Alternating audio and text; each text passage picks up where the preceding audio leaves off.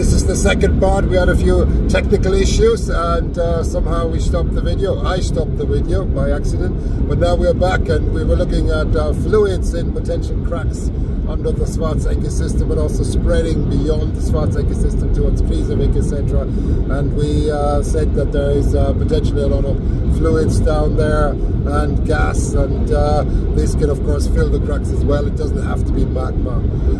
But the uh, uh, important question that that I think uh, is worth looking at is what's going to happen now because the system is actually inflating again, and uh, this happened pretty much after the uh, April 1st eruption reasonably rapidly. What's the story? Do you think there will be more eruptions now, and maybe will they come in different places, Thor? Well, I think what we will, are seeing is, is, because we have this major strain or stress release event on 1st of April, yeah. and uh, uh, the onset of inflation and, and, the rate of inflation, you know, for the first few days after after that 1st of April event was much faster than we have seen before. Yes. And I think it's basically that stress relief event kind of uh, opened things up a little bit more than it had been previously and allowed magma to come from the deeper storage zone into the shallower storage zone a bit faster than it had been doing yeah. in, in recent times. But now, what interesting thing is, is that last time I looked, it was actually slowed, had slowed down again and was actually getting to the pace it was pre, before the 1st of April. I see. I and, see. and so, if, if that holds, and, and we don't know that, you know, the, inflation is not necessarily a constant event. It can come in in, in, in sort of steps and things like that. So, but if it if it holds itself uh, uh, uh,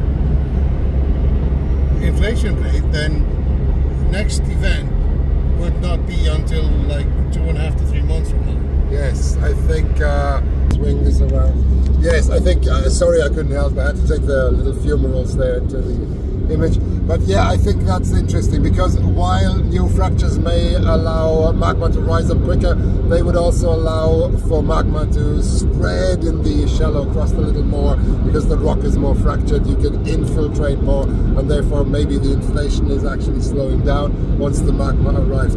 Interesting. It, it, it, that could be, and and, and the, the other thing is is that uh, um, the we may be getting to the stage where the you know, even though we had a temporary increase in the flux, that might also mean that you know you empty things out rapidly. But up to up to first of April, we will see a decline in the flow rate between the deeper magma storage and the, and the shallower magma storage. So, ah. and, and, and, and if you get back on that track, then that inflow might continue to decline, and which would mean that um, at the end of, of, of, you know, at some point, you can't maintain that flow between those right. two things, and then the whole thing will end. Now, the interesting thing, right before 1st of April, we were at the point of where the inflow was about 2.5 cubic meters per second. Okay. And the theoretical limit for keeping a conduit open with magma flow in the crust is between two and three. Yeah, so we are threshold. We are really at threshold. So yeah. I wouldn't be surprised if we wouldn't get another eruption. This might die out before that happens. But at the same time, I wouldn't necessarily be totally surprised by the fact that we get one more event.